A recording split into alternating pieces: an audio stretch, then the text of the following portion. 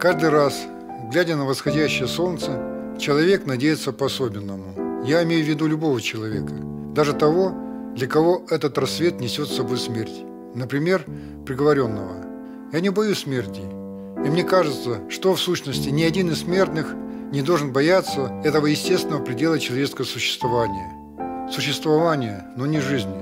Ведь жизнь не заканчивается со смертью, а продолжается в наших детях, в человечестве, которому мы оставляем свои мысли и дела. Смерть человека не страшна, пока человечество имеет надежду на будущее. Вот эта надежда на будущее человечества, по-видимому, и открывается каждому момент восхода солнца. Ведь солнце встает для всех, и именно в этот момент можно как никогда почувствовать себя частью этого всеобщего бытия, открывающегося каждому из нас как надежда.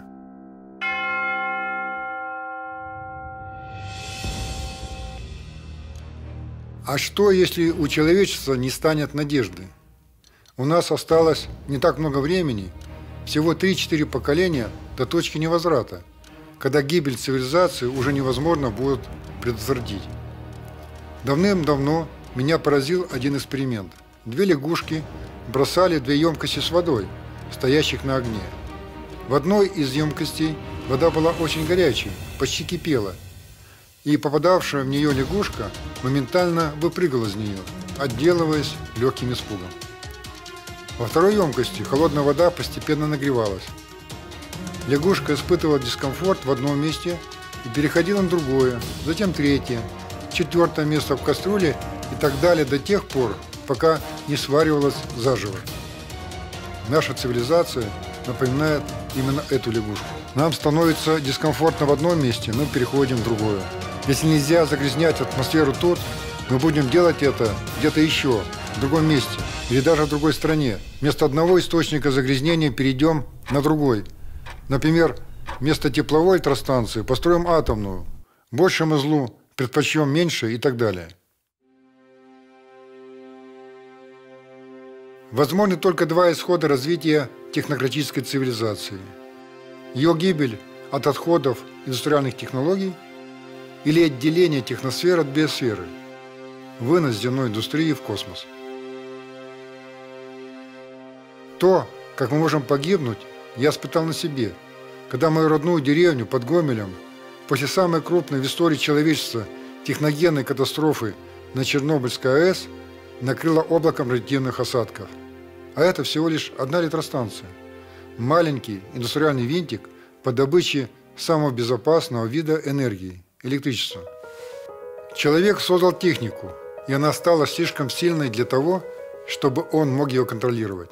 Чернобыль – это яркий пример, урок, из которого мы так ничего и не вынесли. Сегодня много говорят о загрязнении окружающей среды, глобальном потеплении и тому подобном. Принимают меры в виде квот на выброс тех или иных веществ в тех или иных регионах. Ничего не напоминает? Лягушка в кастрюле с еще не смертельно горячей водой – все это полумеры. Мы ничего не достигнем, просто сократив количество выбрасываемых в атмосферу вредных веществ. Так можно только отложить гибель, но не избежать ее. Единственный вариант спасения для человечества – вынос вредного производства на околоземную орбиту, в ближний космос. Об этом говорил еще Циолковский. Я познакомился с его трудами в детстве. Я понимаю, что так можно потерять вот всю планету. Ну,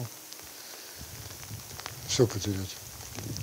Потому что это сделала цивилизация, вот эту вот трагедию. И сделала самую безопасную энергию электрическую.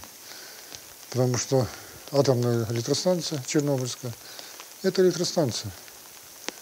Она вырабатывает самую безопасную и самую чистую электрическую энергию. Но мы видим, что это не так. Никакая она не безопасная, никакая она не чистая. Ну что, я здесь гулял, вот в школу ходил, вот там школа. А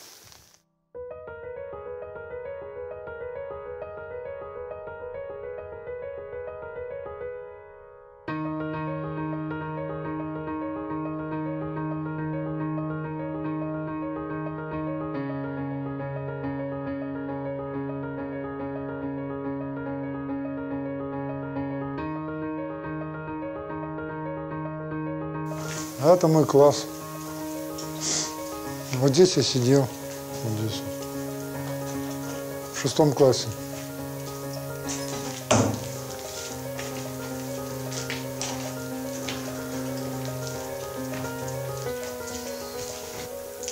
И нас учили, многому учили, и хорошо учили.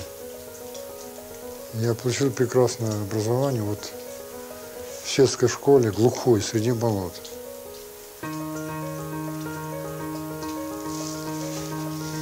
А там классы химии и физики должны быть. Нет силы более могучей, чем знания.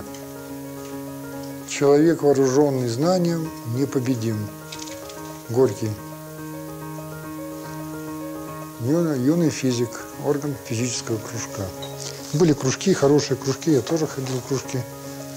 Увлекался моделированием, в том числе ракетным моделированием. Я первые ракеты строил здесь, где-то во втором классе начинал строить их.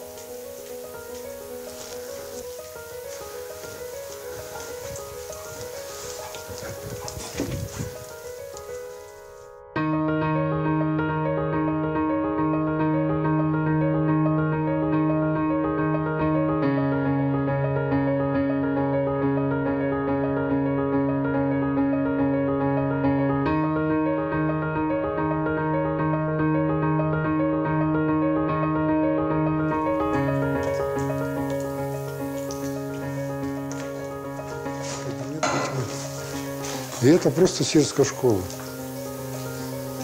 А знания давали хорошие, неплохие знания. Я с благодарностью это вспоминаю.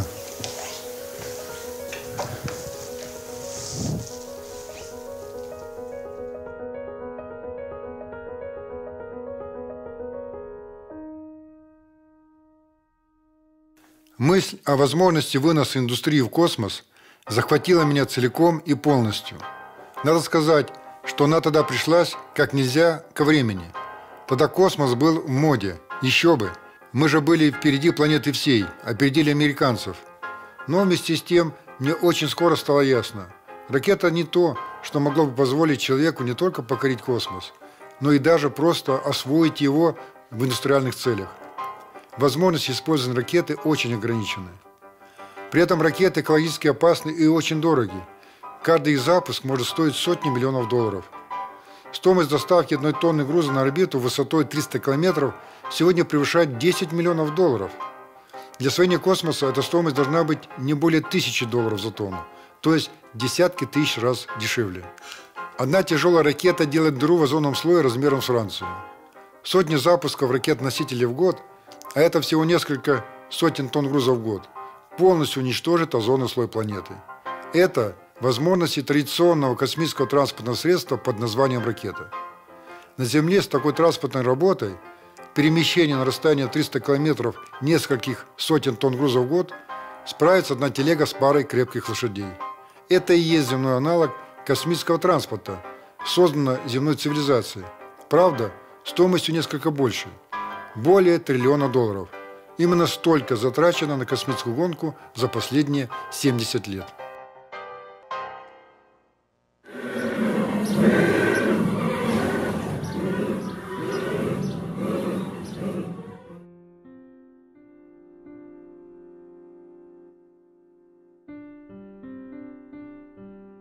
Очевидно, что одна земная телега не справится с транспортными задачами, стоящими на планете перед более чем 7 миллиардами землян. Как очевидно и то, что подобный транспорт не справится с созданием космической индустрии, обслуживающей все человечество. Решение, которое я предложил, является единственно возможным, не ракетно освоение космоса. Оно основано на законах физики и в сущности очень просто – мы можем выводить на орбиту большое количество грузов. За один рейс миллионы тонн и миллионы пассажиров, использовать центробежную силу. Для этого по экватору нужно построить кольцо, которое и будет являться общепланетным транспортным средством. Внутри кольца по специальному вакуумному каналу на магнитном подвесе будет двигаться маховик, разгоняемый линейным двигателем по принципу поезда на магнитной подушке. За счет чего кольцо увеличиваясь в диаметре, станет плавно подниматься над землей, пока не достигнет нужной высоты и орбитальной скорости 8 км в секунду. Таким образом, мы сможем вывести на околоземную орбиту неограниченное количество грузов. Получим возможность использовать неисчерпаемые ресурсы космоса – сырьевые, энергетические, пространственные – и избавим Землю от непосильной ноши технологической эксплуатации. Благодаря новым космическим технологическим ресурсам, отсутствующим на Земле, невесомости глубокому вакууму, перед будущей космической индустрией откроется колоссальная возможность. Сейчас кажется даже немного наивным. Тогда я думал, что стоит мне рассказать людям о моем изобретении, и они обязательно поймут всю его важность. Я был уверен, что меня услышат. Услышали. Назвали сумасшедшим, параноиком, фантазером. И это тоже было своего рода признанием. Когда-то также смотрели на строившего ковчег Ноя, воспринимали идеи Коперника, Бруна и даже о самолете, сегодня ставшем частью повседневной реальности, скептики говорили, что предмет тяжелее воздуха не может летать. А другие специалисты утверждали, что космические полеты невозможны, так как в вакууме реактивной струе будет не от чего отталкиваться. Впрочем, было и другое признание, настоящее. Более 100 патентов и авторских свидетельств на изобретение, публикации в научных журналах и объемно научная монография. В некотором смысле я благодарен тем, кто критиковал меня. Они побудили меня отставать идею, развивать и совершенствовать ее. Так, собственно, и зародился концепт струнного транспорта – который отпочковался от эстакады общепланетного транспортного средства.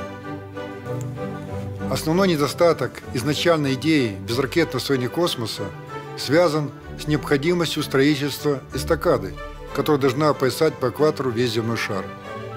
Если эстакаду строить в традиционном исполнении, то для этого потребовалось бы неимоверное количество строительных материалов – Однако расходы можно сократить на порядок, если сделать структуру эстакады предварительно напряженной, струнной. Струнные канаты примут на себя значительную часть нагрузки, за счет чего несущие конструкции могут быть гораздо более легкими и, соответственно, менее материалоемкими. Кроме того, такая конструкция оказывается еще и более прочной, устойчивой к внешним воздействиям и дешевой. В сравнении с обычной эстакадой, она сама по себе является, безусловно, выигрышной, а потому может заменить ее не только в рамках концепции неракетного строения космоса, но и в повседневной жизни, строительстве земных дорог и мостов.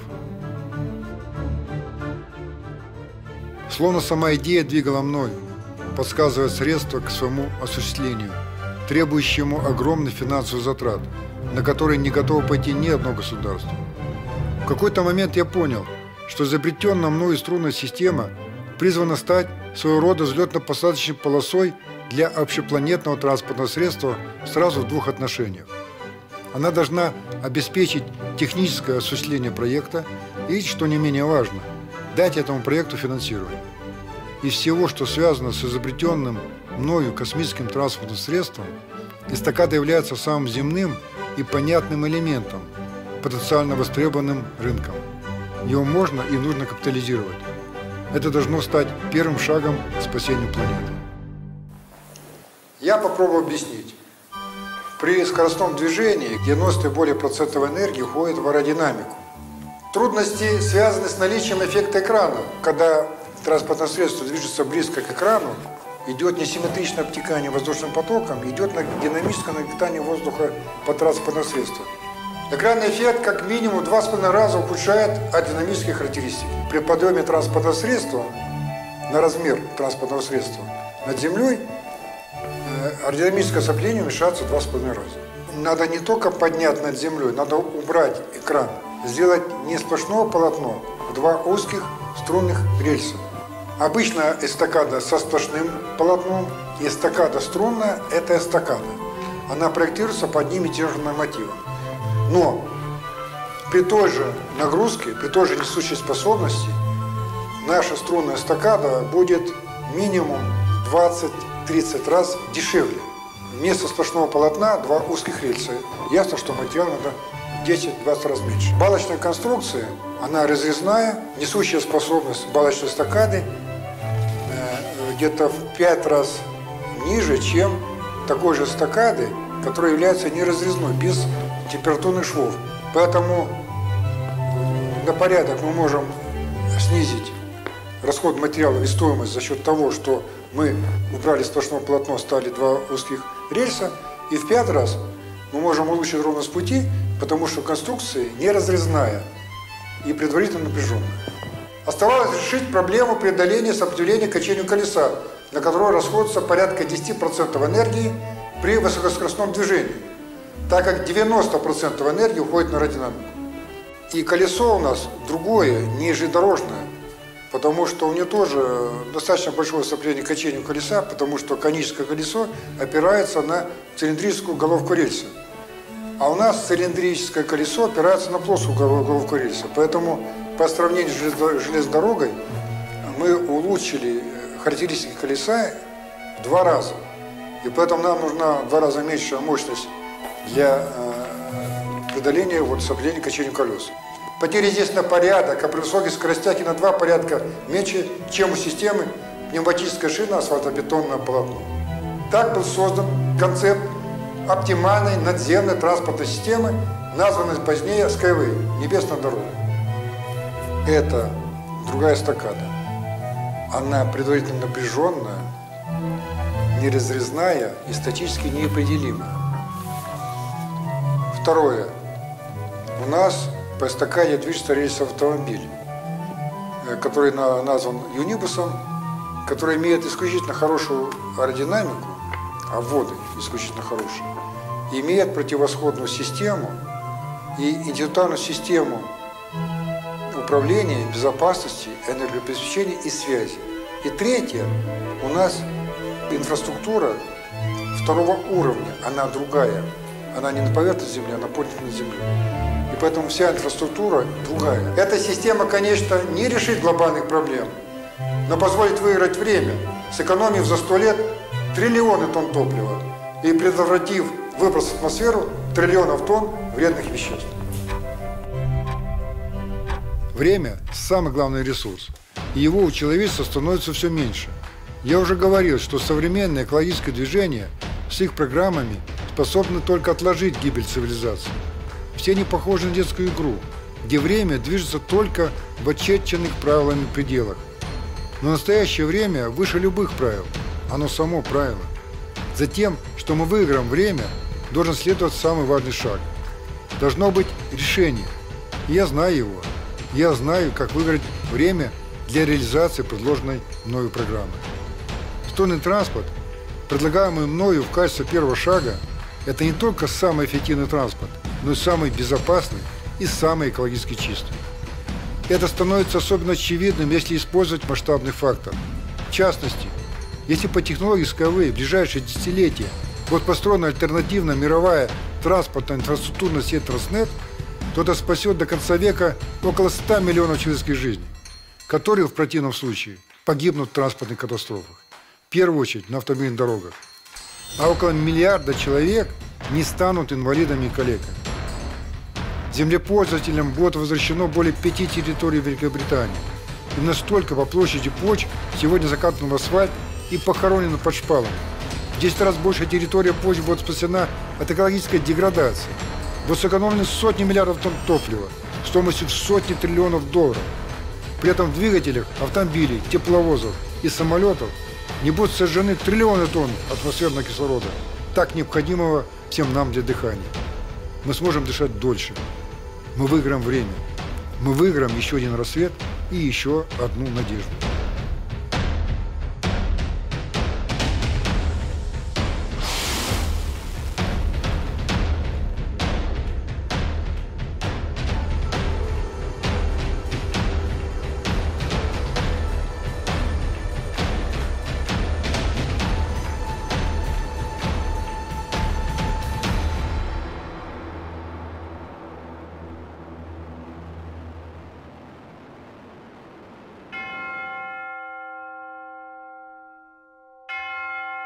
Боже, дай мне времени завершить начатое. Дай мне времени сделать все, что в силах моих для реализации задуманного. Для всех людей, объединенных этим рассветом и этой особенной надеждой, таящейся днем. С этой мыслью я начинаю свой день вот уже почти 40 лет. Все то время, что было отдано воплощению идеи струнного транспорта и не ракет на стороне космоса. Я знаю, что я не один, и это дает мне уверенности в правильности избранного пути.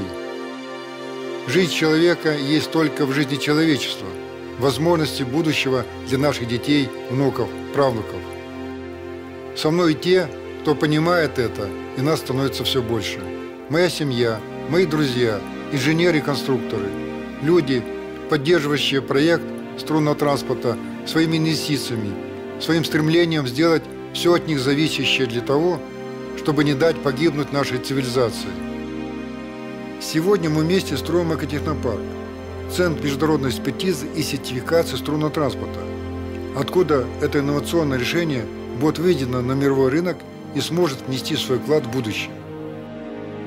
Вместе мы строим будущее, лучшее, чем то, которое ожидает нас, если ничего не делать прямо сейчас, пока еще есть время. Я убежден, что как только мы достроим тестовые участки и сможем сертифицировать струнный транспорт, он будет востребован по всему миру. Ведь не может не быть востребованным самый эффективный, дешевый, экологически чистый и безопасный транспорт из всех, что только есть сегодня в мире. И хотя богатство не является для нас самоцелью, но мы разбогатеем, продавая созданную нами технологию. Лично заработанные деньги я инвестирую в разработку космической программы Spaceway. Эту программу сегодня никто не готов финансировать. Ни Россия с ее Роскосмосом, ни Соединенные Штаты Америки с их НАСА, ни Организация Объединенных Наций. А ведь только научно-исследовательские и опытно-конструкторские работы по этой программе потребуют порядка 100 миллиардов долларов вложений. Реализация программы Spaceway «Космический путь», затраты на которую оцениваются более чем триллион долларов, обеспечит переход земной цивилизации на новую ступень развития. Она станет космической цивилизацией, у которой индустрия будет вынесена за пределы ее дома, без сферы планеты Земля. У нашей цивилизации, а значит и у наших внуков и правнуков, появятся безграничные возможности для дальнейшего технологического развития без конфликтов между земной биосферой, созданной Богом, и индустриальной техносферой, созданной человеком разумным.